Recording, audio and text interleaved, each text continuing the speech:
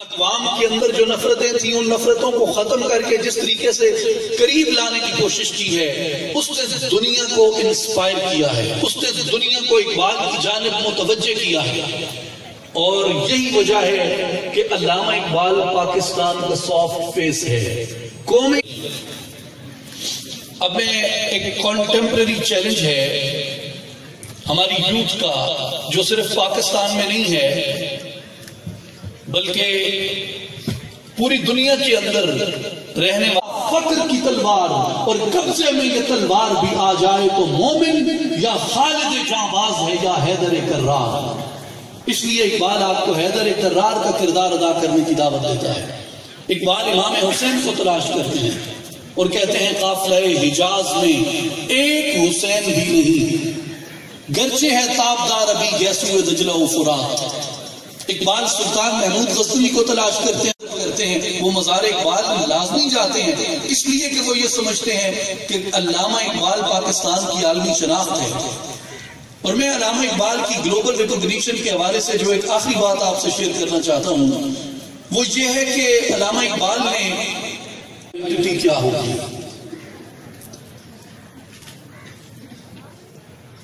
اقبال نے ایک چیز پہ تنقید کی۔ اور ایک اسی سے ملتی جلتی چیز کی بنیاد رکھی، جس پہ اقبال نے تنقید کی۔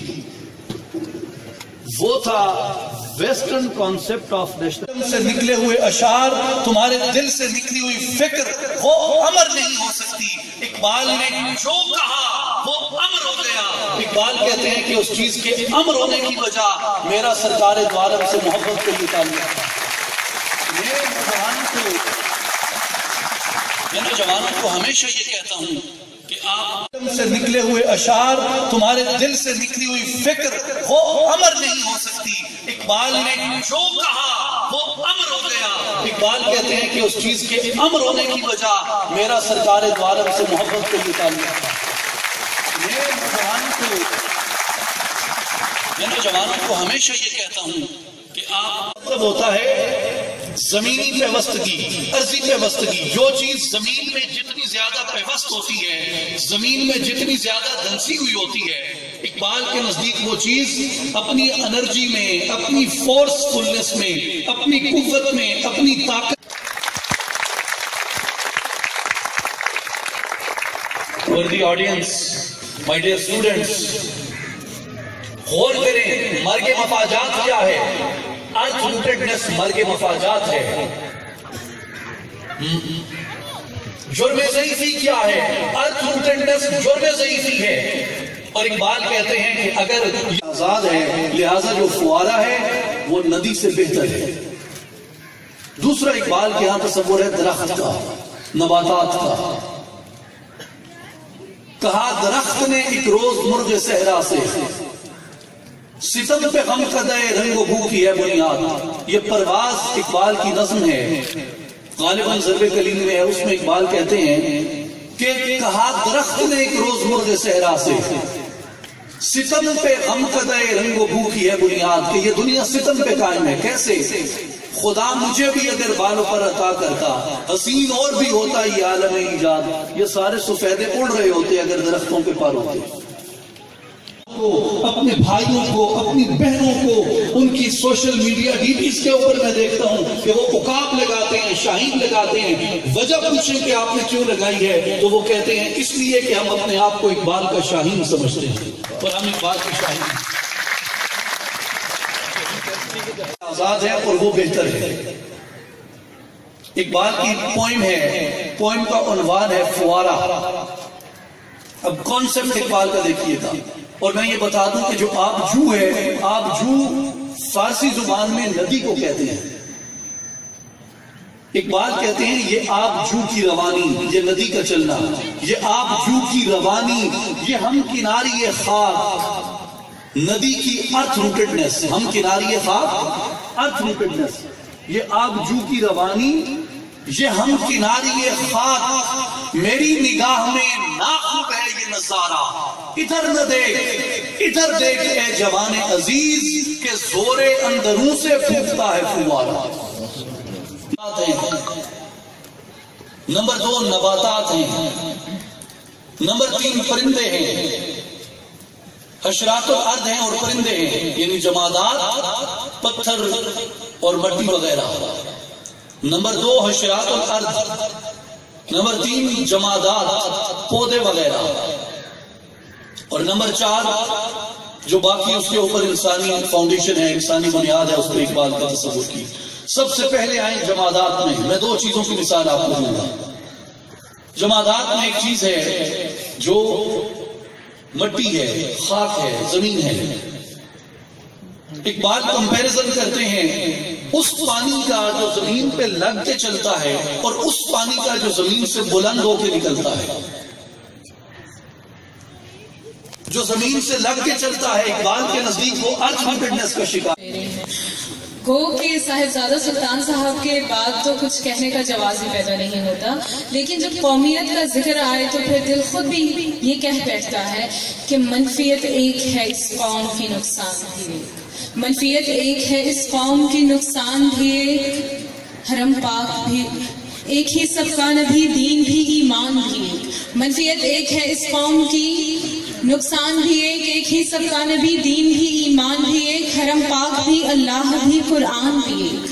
کیا بڑی بات تھی ہوتے جو مسلمان تھی لسان۔ جو قوم اپنی لسانی بنیاد سے جڑی ہے، وہ بھی ارتھ کا شکار ہے۔ اور تیسرا، جو قوم ایتھنک بنیادوں کے اوپر قائم ہے، رنگ و نسل کی بنیاد پہ قائم ہے، کسی ایک خاص لینج کے اوپر قائم ہے۔ اقبال کے نزدیک وہ بھی ارتھ روٹڈنس کا شکار ہے۔ تو اقبال کے ہاں زبان پہ جغرافیے پہ اور رنگ و نسل کے اوپر جو قومیت کا تصور ہے، یہ انسانیت کو تباہی کی طرف لے جانے کا سامان ہے۔ حالت میں نہ آتا، یہ شاہین ہوتا، اس کی پرواز بلند ہوتی۔ لہذا جو ارتھ روٹڈنس کا شکار ہے، اقبال کے نزدیک وہ کمتر ہے۔ اس لیے اقبال کہتے ہیں کہ جو اسلامی قومیت کا اصول ہے، وہ جغرافیے پہ نہیں ہوگا، وہ زبان و لسان پہ نہیں ہوگا، اور وہ رنگ و نسل پہ نہیں ہوگا۔ بلکہ اسلامی قومیت کا اصول ایک آفاقی آسمانی نظریے کے اوپر ہوگا اور وہ ہے لا الہ الا اللہ محمد رسول اللہ۔ یہ جڑا ہوا ہے، لہٰذا تجھے پرواز کا حق حاصل نہیں ہے۔ تو اونچی اڑان کا حق نہیں رکھتا۔ اس کے بعد آ جائیں حشرات الارض پہ۔ اب پرندہ اور حشرات الارض میں دونوں میں سے کون زمین سے جڑا ہوا ہے، زمین پہ وسطی کا شکار ہے حشرات الارض کیڑے مکوڑے ایک مکالمہ ہے اقبال کے ہاں چیونٹی اور اکاب چیونٹی اور اکاب چیونٹی اکاب سے سوال کرتی ہے۔ چیونٹی اکاب سے کہتی ہے کہ میں پائے مالو، خوارو زبوں حالو، درد مند۔ اپنا حال بیان کرتی ہے کہ میں پائے مالو، خوارو زبوں حالو درد مند تیرا مقام کیوں ہے ستاروں سے بھی بلند؟ اکاب جواب دیتا ہے چونٹی کو، اکاب کہتا ہے کہ اس کی وجہ یہ ہے کہ تو رزق اپنا ڈھونڈتی ہے خاک راہ میں۔ میں نو سپہر کو نہیں لاتا، نگاہ میں۔ تو زمین سے چن کے کھاتی ہے، میں آسمان سے تارے توڑ کے کھاتا ہوں۔ تو اور میں کیسے برابر ہو سکتا ان ادر ورڈز تم ارتھ روٹڈنس کا شکار ہو۔ تم زمینی پیوستگی کا شکار ہو۔ اس لیے تم میرے مقابلے میں ذلیل اور کمتر ہو۔ میرے دل کے حجابات اٹھا۔ دیے اس لیے وہ کہتا ہے کہ میری نوائے پریشان کو شاعری نہ سمجھ۔ کہ میں ہوں محرم راز درون میں خانہ میں تمہیں میں خانے کے اندر کی خبریں دیتا ہوں، یہ صرف شاعری نہیں ہے۔ اور مجھے اقبال وہ جیسے ایک آج کل پاکستان میں آپ کو پتا ہے کہ ککڑیاں اور مرغیاں بڑی مشہور ہیں۔ جب، کوئی بھی چھوٹا آپ چوزا دیکھتے ہیں، جب وہ خوف میں مبتلا ہو تو وہ اپنے آپ کو اپنی ماں کے پروں کے نیچے بڑا محفوظ تصور کرتا ہے۔ خواتین و حضرات، جب میں اس دنیا میں جو کچھ ہو رہا ہے، جتنے فتنے ہیں، جتنا انتشار ہے، جتنی ہماری بکھری ہوئی کیفیت ہے، اسے دیکھ کے جب میں خوف میں مبتلا ہوتا ہوں تو میں اپنے آپ کو اقبال کے پروں کے نیچے محفوظ تصور کرتا ہوں۔ کیوں؟ اس لیے کہ اقبال کی دو بنیادیں ایسی ہیں جو شروع سے لے کے آخر تک چلتی ہیں اور وہ اس بات کی دلیل ہیں کہ اقبال کو پڑھنے والا کبھی بھٹک نہیں سکتا۔ کیونکہ اقبال آپ کی دو جانب توجہ کراتا ہے، قرآن کی طرف اور عشق رسول کی طرف۔ اقبال کا دوسرا مطلب ہے کہ آپ قرآن کے تصورات کو سمجھ رہے ہیں۔ اور آپ عشق مصطفیٰ کی طرف سفر کریں، آپ پورا اقبال دیکھ لیں، ہر مسئلے میں، ہر بات میں عشق مصطفیٰ کی بات کرتا ہے۔ عشق رسول صلی اللہ علیہ وسلم کی بات کرتا ہے۔ یہ اقبال کی انفرادیت ہے۔ بہت شکریہ فیکلٹی ممبرز، بہت شکریہ اسٹوڈنٹس۔ بہت بہت شکریہ thank you very much